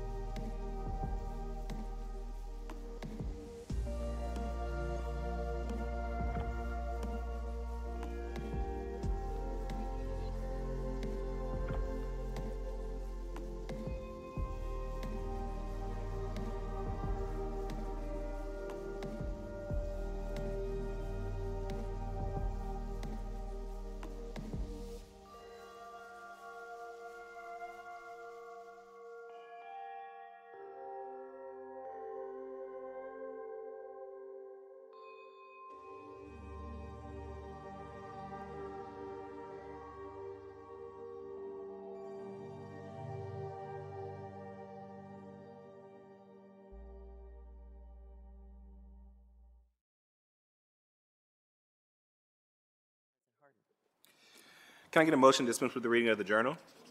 Clerk, please call the roll. Bankston, Brown, Dorans, Remy, President Hardin. Are there any additions or corrections to the journal? Hearing none, the journal is approved. Uh, We will now go to the zoning committee. Councilmember Dorans chairs that committee. All members serve on it. Councilmember, the floor is yours. Thank you, Council President. Allow me to, as always, briefly explain our current rules pertaining to speaking before council on rezonings and variances. We will only hear a staff presentation for ordinances that have a disapproval from a recommend- recommending body, or if we have a public speaker signed up to speak against an ordinance. Uh, This evening, we have five public speaker slips. Uh, All speakers and council variances, including city staff, area commissions, applicants, and members of the public, will be sworn in before they give testimony. Representatives of an area commission applicants are always able to speak on an ordinance and do not need to fill out a speaker slip. On the advice of the city attorney's office, I will now swear in city staff. Please stand and raise your right hand and be sworn in. Do you swear or affirm the testimony you're about to give shall be the truth and nothing but the truth, as you shall answer the pains or penalty of perjury? If so, please say I do. I do. Thank you. Uh, Please let the record reflect that Joseph Rose from the Department of Building and Zoning Services and Dan Bleshman from the Department of Public Service have been sworn in. Um, First, we have ordinance 1378 to amend ordinance number 2366-2020 passed October 3rd, 2022, for property located at 5050 Riggins Road by repealing Section 3 and replacing it with the new Section 3, thereby modifying the building size and locations on site plan. The applicant's Cardinal Self Storage LLC, care care of uh, Jill Tangeman, attorney, proposed use a self-storage facility. City's Department recommendation is approval. Hayden Run Civic Association recommendation is also approval. Uh, Do my colleagues have any questions or comments? Seeing none, I move for passage. Bankston, Brown, Dorans, Remy, President Hardin. Passed. Thank you. Next, we have ordinance 2882-2021 to rezone 2510 Bethel Road, being 1.06 plus acres located north side of Bethel Road, 1,600 plus feet uh, east of Sawmill Road from CPD Commercial Plan Development District to CPD Commercial Plan Development District. The applicant is uh, 2510 Bethel Road LLC, uh, care of David Honduras. The proposed use is a car wash. City's Department recommendation is approval. Uh, Development Commission recommendation is approval. Northwest Civic Association recommendation is disapproval. Um, Because of that disapproval, before we get to our public speakers, we'll have Mr. Rose give a presentation. Uh, Mr. Rose, the floor is yours.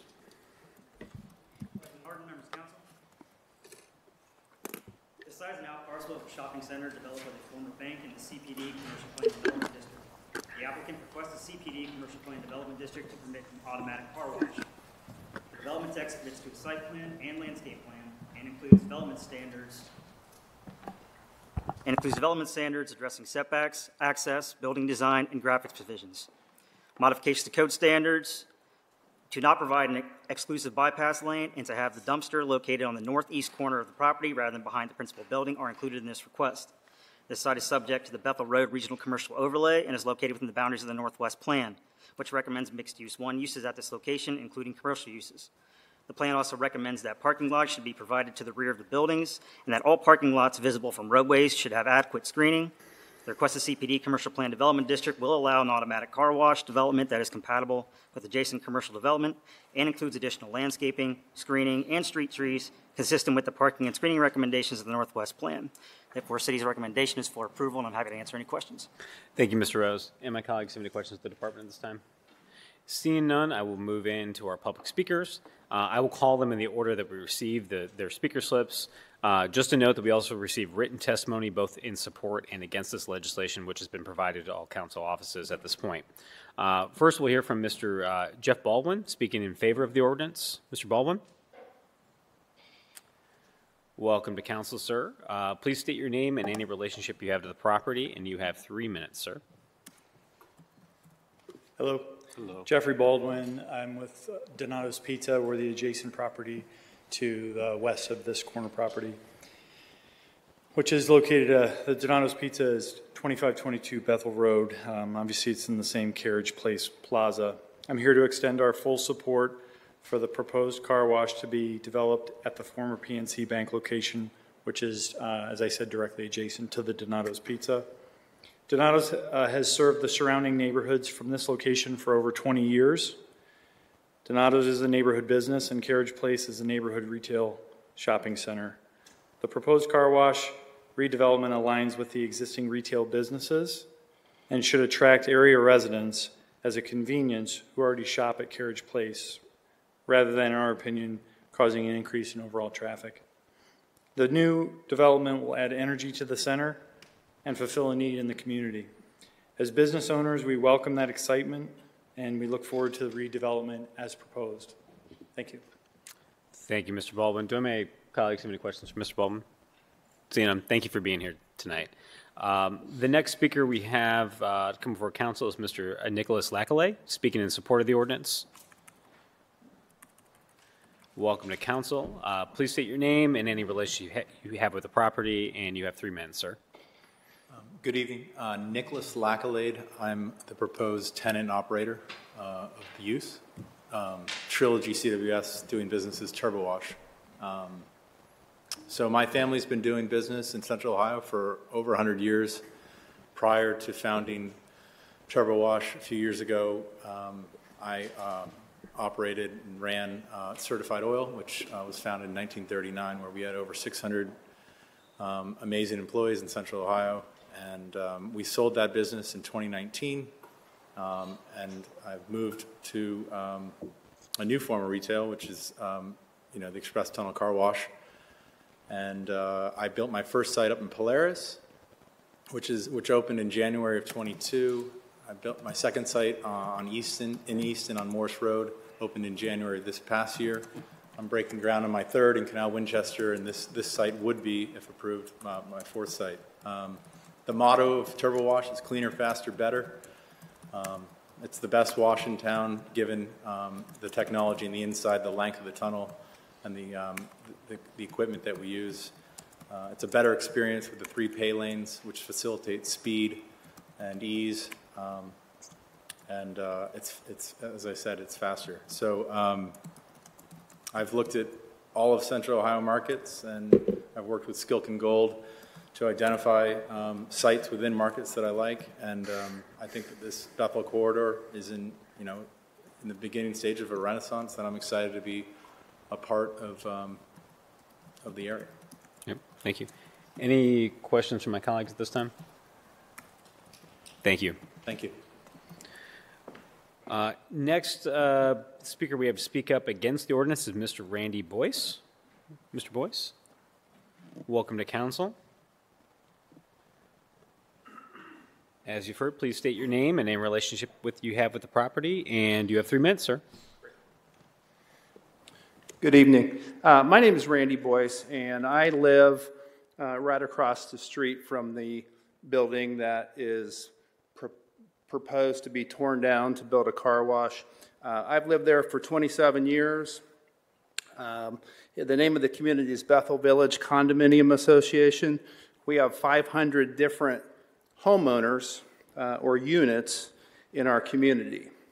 And in the 27 years that I've lived in Bethel Village, um, not much has changed.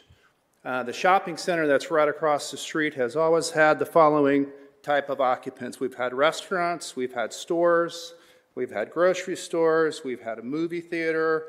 And sure, the names on some of these businesses change. But, you know, when I first moved in, it was Big Bear, and then it became Walmart. And the point that I'm trying to make is the, the nature of the businesses hasn't changed, right? And in 27 years of living there, nothing has changed.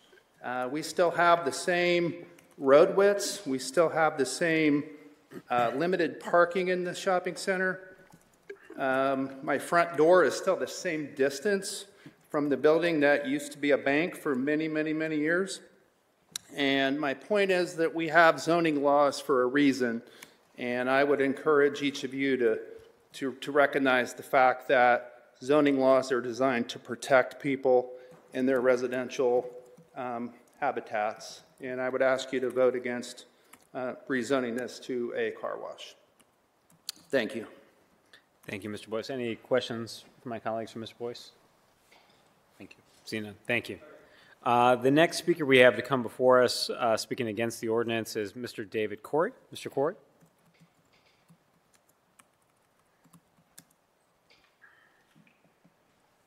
Mr. Corey, uh, please state your name, any relationship you have to the property, and you have three minutes. Uh, My name is David Corey, and I live right across the street from the proposed uh, car wash. Um, I would also encourage the, board, uh, the council to deny the variance Uh, They are planning to have vacuums that it's our understanding will be going 24/7, and that will increase the amount of noise drastically. Uh, Further, the traffic situation is going to be negatively impacted by having lots of cars stacking up in front of uh, this car wash, which is on a very, very small site for what it is. Um, Either the cars will spill out onto Pickford and interfere with the COTA buses, or they will block the access to the businesses, which for the first time in, you know, that I've lived there in three years, every single one of these storefronts is actually occupied and in business. Um, So I think that, the, you know, the, the renaissance that somebody mentioned earlier would absolutely have the brakes put on uh, by a car wash because we already have almost full occupancy. There just doesn't seem to be a reason uh, for this type of business that is going to negatively impact the businesses we have. Thank you. Thank you. Thank you, Mr. Corey. Any questions or comments from my colleagues? Um, The next speaker, uh, last public speaker to speak on this ordinance is Ms. Monica Tuttle. Ms. Tuttle? Thank you. Uh, Please state your name, any relationship you have with the property, and you have three minutes. Good evening. My name is Monica Tuttle, and I am a resident of the Northwest community. I'm also the zoning chair for the Northwest Civic Organization, and I come before you tonight as a member of the community and also representing my other members of my community. I did submit some written uh, comments to uh, City Council prior to tonight's meeting, and I'm sure that you've had an opportunity to review those, but I'd like to just focus on three main points. This car wash is not an appropriate use for the current or future conditions at this location. As you're all aware, LinkUs is a huge endeavor, a multi-agency endeavor, and the Northwest Corridor runs adjacent to this proposed rezoning. This parcel would be directly on the same street where we are trying to encourage bus rapid transit and improved pedestrian connectivity. A car wash, unfortunately, does not have any pedestrian friendly or rider friendly services to offer. Aside from shopping for a car wash, there's nothing else that a, a pedestrian would use this site for, should this site go forward. Um, additionally, this parcel is located adjacent to multiple neighborhoods. The Northwest Plan recommends mixed use one at this site, and that's appropriate for this residential commercial area. An automatic car wash does not contribute to the blend of commercial and residential that we are looking for in this area. Secondly, and most importantly, even if rezoning this to allow for a C5 use, such as a car wash, which I understand is the only C5 use they are requesting, even if that were appropriate for this location, the site plan is non-tenable. I'd request that it be, be brought up before you. You probably all have it in front of you. But in order to utilize this site, a driver would have to make three consecutive U-turns to move through the stacking lanes, the car wash, and then to exit from this parcel. This is a small, almost landlocked parcel. Additionally, in order to exit that site, the cars departing from the car wash would be facing on cars departing from the vacuums would be facing the oncoming cars coming out of the car wash and both trying to exit through a 17 foot curb cut. That curb cut is not far distant from the entryway into the overall shopping plaza. Unfortunately, the, the traffic and the movement of cars through this site just does not allow for this use to function. Additionally, they're requesting that a bypass lane not be required, which means that should any of those 21 cars that are stacked up to move through the car wash decide that they no longer wish to wait in line, they have nothing, they have no other option other than to back out of that site into the overall shopping plaza. Finally, we've had numerous meetings with the applicant, and at no time has there been any um, intentional discussion of trying to modify the site plan to address any of the community's concerns. The applicant has been adamant. Meg, the applicant the applicant has been adamant that if she is not able to move forward with the proposed um, rezoning, that she will be forced to rent to startups or less desirable tenants. Those are not my words. This is a this is a neighborhood with diverse neighbor. This is a community with diverse neighborhoods with a number of local businesses, and we are adamant that um, the the fabric of our neighbor, the fabric of our community should be maintained, and we strenuously implore you to oppose the CPD as proposed at this time. We would look forward to working with the applicant to see if there were some other tenable solution that would be more appropriate for the site. Thank you. Thank you, Ms. Tuttle. Uh, Any questions from my colleagues at this time? Seeing none, thank you. Thank you. Uh, Would next would invite the applicant, uh, Ms. Linda Honduras, to make any remarks um, at this time.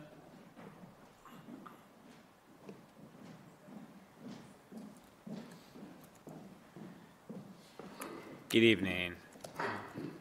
So since you're the applicant, uh, you're able to speak without the, the three minutes. So if you want to make any presentations or respond to any specific comments from any of the public speakers, uh, the floor is yours. Thank you. I appreciate that.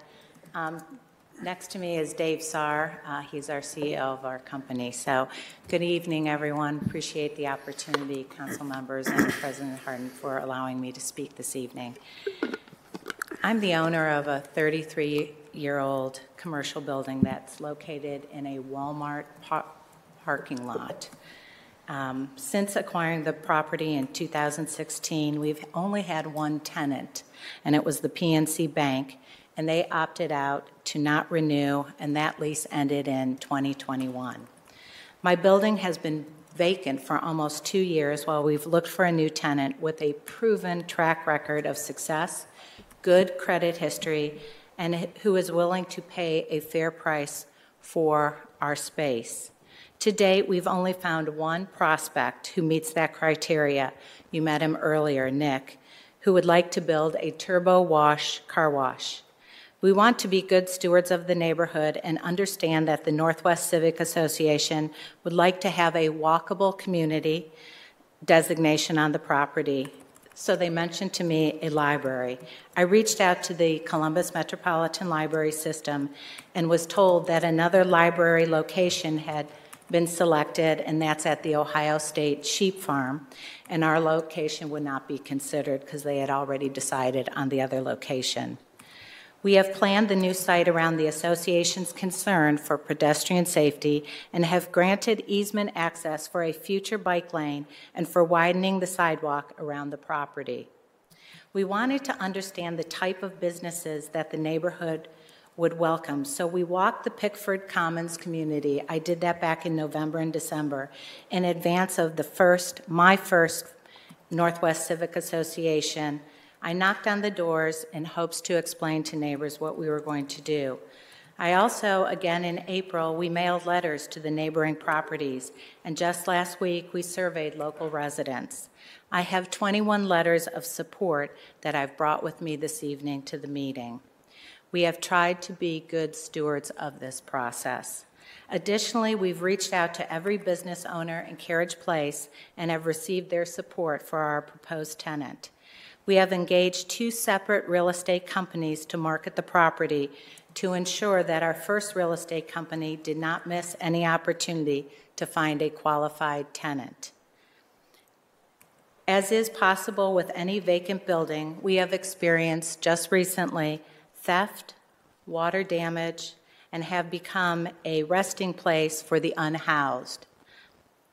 I respectfully ask for a change in zoning so we can move forward with this new build that will enhance and refresh the Carriage Place Center and help to protect the, protect, protect the investment I have made as a property owner doing business in the Northwest Civic Association area. Thank you for your time. Thank you, Linda. Any questions or comments from council members at this time? Councilmember Bankston? Um, I just, I'm, I'm over here looking at the site plan now. I think it was mentioned by one of the speakers that there's only one ingress and egress. It looks like there's two. So I don't know who can speak to that. Are there actually two different ways in? There, there are, Okay. and to be more specific, I let Dave.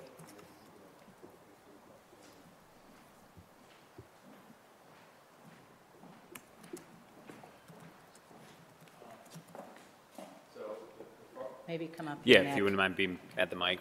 Um, The furthest northwest entrance is an entrance only.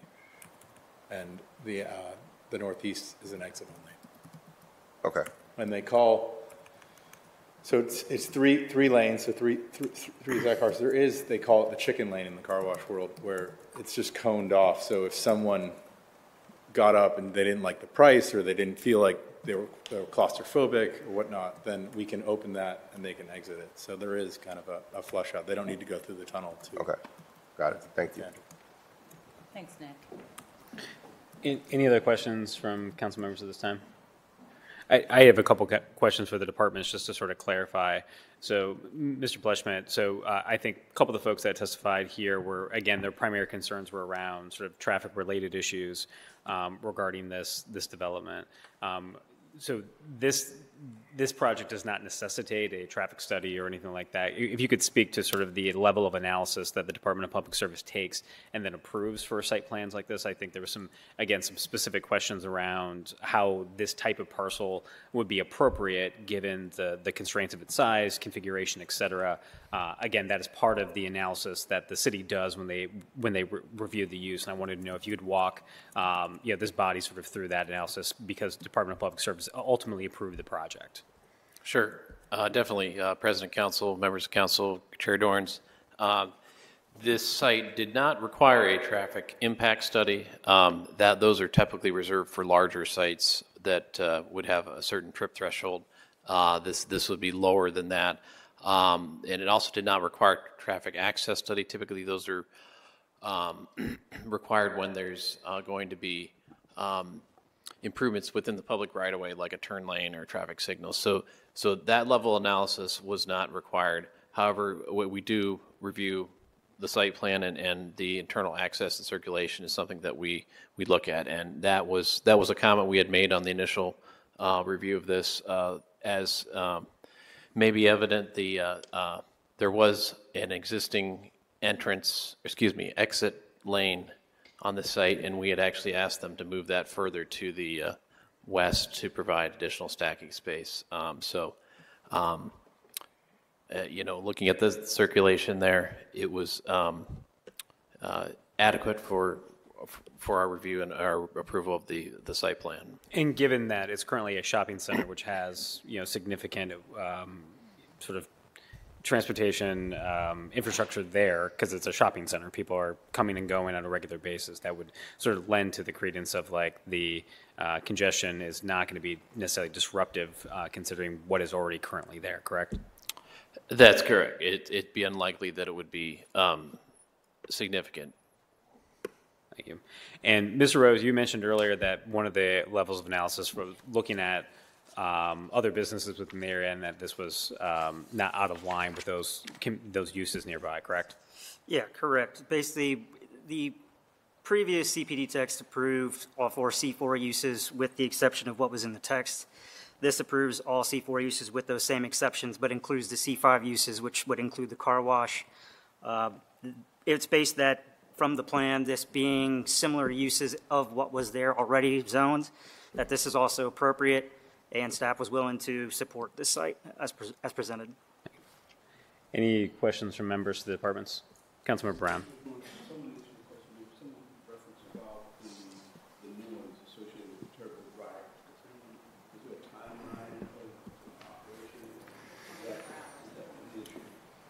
Um, So in the winter, we operate from eight till uh, seven at night, and then in the summer, and the lighter months, we operate till eight till eight. Till when? So it's not twenty-four seven. Eight to eight in the, in the, in the longer, uh, when the days get longer, and in the winter months, when it's, when they're shorter, it's uh, eight to seven. So it's not 24 hours? It's not twenty-four seven, and we turn our vacuum, I mean, that's a ton of energy, we would never run those uh, twenty-four seven. Okay. You- Not 20. Thank 24. you, Councilmember. Any other questions from council members at this time? So, uh, thank you to the applicants. Um, Want to say thank you for everyone who took the time to come down to testify tonight. Um, This is certainly one that, you know, has been with council for a number of uh, months, if not close to a year at this point. Um, So this analysis of this was not done lightly. Um, You know, we worked with the department, certainly. My staff communicated with folks in the community. The, you know, the idea that nothing is ever going to change in Columbus with the city that is growing right now is just not the reality that we live in. Um, you know, this council has a record of voting with our air commissions and civic associations 95% of the time. And I think that's because of that collaboration that exists with these groups. Um, but unfortunately, this is you know just an instance in which this is an out parcel of a Walmart and a shopping center, and this does seem to be an appropriate use, in my opinion, given the um, you know the adjo- adjoining businesses and, and certainly the area that it's located in. So um, at this time, if there are no other questions or comments from my colleagues, I move for passage. Second. Clerk, please call the roll. Bankston, Brown, Dorans, Remy, President Hardin. Passed. Thank you. Uh, Next, we have ordinance Thank 1402-2023 to grant a variance provisions of section 33.09, uh, 3309.14 height districts, 3312.25 maneuvering, 3312.29 parking spaces, 3312.49C minimum number of parking spaces required, 3333.15C basic computing areas, 3333.18 building lines, 3333.24 rear yard of Columbus City Codes for property located at 1205 Chesapeake Avenue, permit reduced development standards in the AR3 apartment residential district, and the repeal ordinance number 3016-2021 passed December 13th, 2021. The applicant's preferred living uh, care of David Hodge Attorney proposes a multi-unit residential development. City's Department recommendation is approval. The Fifth by Northwest Area Commission's recommendation is also approval. I first move to accept the entire staff report into evidence as an exhibit. Clerk, please call the roll. Bankston, Brown, Dorans, Remy, President Hardin. Uh, Accept it. Next, I move to adopt the findings of staff the findings of council. Clerk, Clerk, please call the roll. Bankston, Brown, Dorans, Remy, President Hardin. And finally, I move for passage. Clerk, please call the roll. Bankston, Brown, Dorans, Remy, President Hardin. Passed. Thank you, Council President. That's all I have on tonight's agenda. See no further business coming for council. Is there a motion to adjourn? Clerk, please call the roll. Bangston, Brown, Dorans, Remy, President Harden. Adjourn.